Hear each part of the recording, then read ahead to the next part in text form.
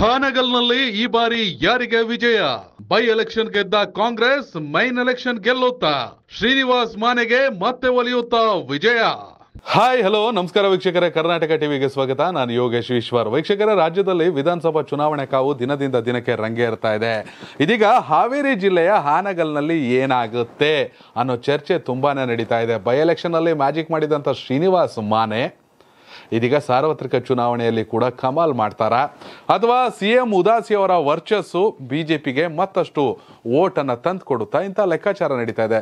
ವೀಕ್ಷಕರ ವಿಡಿಯೋ ತುಂಬಾನೇ ಇಂಟ್ರೆಸ್ಟಿಂಗ್ ಆಗಿದೆ. ಕಂಪ್ಲೀಟ್ ವಿಡಿಯೋನ ನೋಡಿ. ಅದಕ್ಕಿಂತ ಮೊದಲು ನೀವು ನಮ್ಮ ಚಾನಲ್ನ ಹೊಸ ವೀಕ್ಷಕರಾಗಿದ್ದಲ್ಲಿ ದಯವಿಟ್ಟು ಸಬ್ಸ್ಕ್ರೈಬ್ ಮಾಡೋದನ್ನ ಮರಿಬೇಡಿ. ಹಾಗೆ ನಂತರ ಬರೋ ಬೆಲ್ಲ ಐಕಾನ್ ಅನ್ನು ಪ್ರೆಸ್ ಮಾಡಿ. ಆ ಮೂಲಕ ರಾಜಕೀಯಕ್ಕೆ ಸಂಬಂಧಪಟ್ಟಂತಹ ಎಲ್ಲ ಪಿನ್ ಟು ಪಿನ್ ಅಪ್ಡೇಟ್ಗಳನ್ನು ಮೊದಲಿಗರಾಗಿ ನೋಡಿ ವೀಕ್ಷಕರೇ. ಸಾವಿರದ ಒಂಬೈನೂರ ಎಂಬತ್ತ್ಮೂರು ಸಾವಿರದ ಒಂಬೈನೂರ ಎಂಬತ್ತೈದು ಸಾವಿರದ ಒಂಬೈನೂರ ತೊಂಬತ್ನಾಲ್ಕು, ಎರಡು ಸಾವಿರದ ನಾಲ್ಕು, ಆ ನಂತರದಲ್ಲಿ ಎರಡು ಸಾವಿರದ ಎಂಟು ಮತ್ತು ಎರಡು ಸಾವಿರದ ಹದಿನೆಂಟು.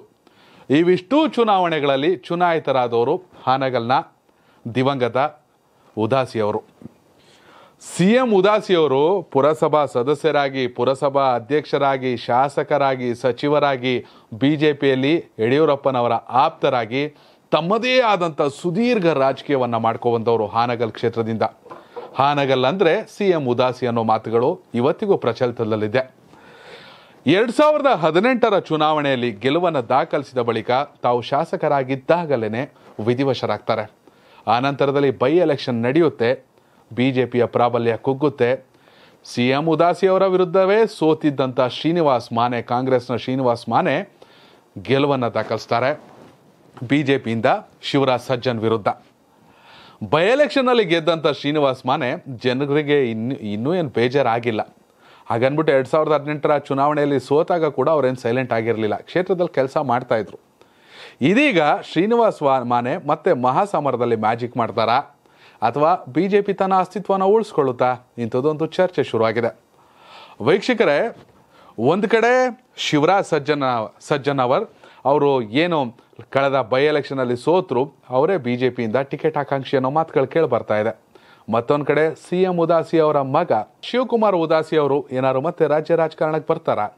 ನಮ್ಮ ತಂದೆಯ ಕ್ಷೇತ್ರವೇ ಆಗಿರೋದ್ರಿಂದ ಬೈ ಎಲೆಕ್ಷನಲ್ಲಿ ಸೋತ ಕ್ಷೇತ್ರವನ್ನು ಮತ್ತೆ ವಶಪಡಿಸ್ಕೊಳ್ಳೋ ಪ್ರಯತ್ನ ಮಾಡ್ತಾರಾ? ಇಂಥದ್ದೊಂದು ಚರ್ಚೆ ನಡೀತಾ ಇದೆ. ಹೀಗಾಗಿ ಕಾಂಗ್ರೆಸ್ನಲ್ಲಿ ಯಾವುದೇ ರೀತಿಯ ಗೊಂದಲ ಇಲ್ಲ. ಶ್ರೀನಿವಾಸ್ ಮಾನೆಗೆ ಅಂತ ಟೈಫ್, ಟಫ್ ಫೈಟ್ ಕೊಡೋರು ಯಾರಿಲ್ಲ ಹೀಗಾಗಿ ಬೈ ಎಲೆಕ್ಷನಲ್ಲಿ ಗೆದ್ದಿರೋದ್ರಿಂದ ಅವರನ್ನೇ ಕಾಂಗ್ರೆಸ್ ಅಭ್ಯರ್ಥಿ ಹಾಕಿಸ್ತಾರೆ ಖಂಡಿತವಾಗಲೂ ಕೂಡ. ಆದರೆ ಬಿ ಜೆ ಪಿಯಲ್ಲಿ ಶಿವರಾಜ್ ಸಜ್ಜನ ನಾವು ಸೋತಿರೋದ್ರಿಂದ ಅವ್ರಿಗೆ ಟಿಕೆಟ್ ಕೊಡ್ತಾರಾ ಅಥವಾ ಸಿ ಎಂ ಉದಾಸಿ ಅವ್ರ ಮ, ಸಿ ಎಂ ಉದಾಸಿ ಅವರ ಮಗ ಶಿವಕುಮಾರ್ ಉದಾಸಿ ಅವ್ರನ್ನ ಕರ್ಕೊಬರ್ತಾರಾ? ಇಂಥದ್ದೊಂದು ಚರ್ಚೆ ನಡೀತಾ ಇದೆ. ಖಂಡಿತವಾಗ್ಲೂ ವೀಕ್ಷಕರೇ, ಹಾವೇರಿಯ ಹಾನಗಲ್ ವಿಧಾನಸಭಾ ಕ್ಷೇತ್ರ ಈ ಬಾರಿ ಸಾಕಷ್ಟು ಚರ್ಚೆ ಆಗ್ತಿರೋದು BJP versus Congress fight Congress versus BJP yes ಇನ್ನೂ ಕೂಡ ಇಲ್ಲಿ ಅಭ್ಯರ್ಥಿಯ ಹುಡುಕಾಟದಲ್ಲಿ ಇದೆ. ಒಂದಷ್ಟು ಹೆಸರುಗಳು ಕೇಳ ಬರ್ತಾ ಇದೆ.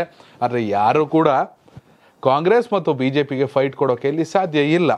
ಇಂಥ ಪರಿಸ್ಥಿತಿಯಲ್ಲಿ ವೀಕ್ಷಕರೇ, ನೀವು ಹಾನಗಲ್ನ ವಿಧಾನಸಭಾ ಕ್ಷೇತ್ರದ ಮತದಾರರಾಗಿದ್ದಲ್ಲಿ ಶ್ರೀನಿವಾಸ್ ಮಾನೆ ಅವರು ಗೆಲುವನ್ನು ದಾಖಲಿಸಬೇಕಾ ಈ ಬಾರಿ ಅಥವಾ ಬಿಜೆಪಿ ತನ್ನ ಅಸ್ತಿತ್ವವನ್ನು ಮತ್ತೆ ಉಳಿಸ್ಕೊಳ್ಬೇಕಾ? ನಿಮ್ಮ ಅಭಿಪ್ರಾಯ ಏನು ಅನ್ನೋದನ್ನ ತಿಳಿಸಿ ನಿಮ್ಮ ಕ್ಷೇತ್ರದ ಶಾಸಕರು ಯಾರಾಗಬೇಕು ಅನ್ನೋದನ್ನ.